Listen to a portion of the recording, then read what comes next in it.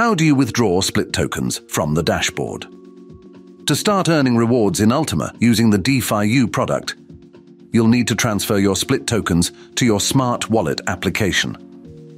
Don't forget to activate your wallet to enable split token operations. Activation is simple.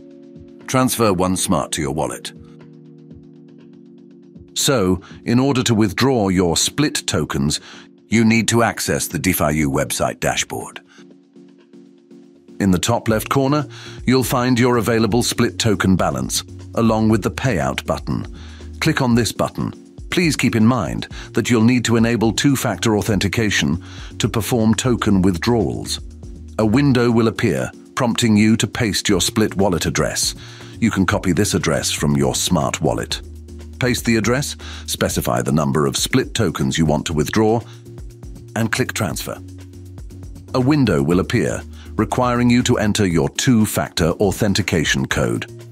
Open the Google Authenticator application and type the relevant code from the app into the corresponding field. If you have completed all the steps correctly, you will receive a message confirming the creation of a token withdrawal request. Your tokens will soon arrive at the wallet address you specified. You can view your payout history in the Payouts History section. If you have any questions, please feel free to contact our support team. We're here to assist you. We wish you success in your endeavors.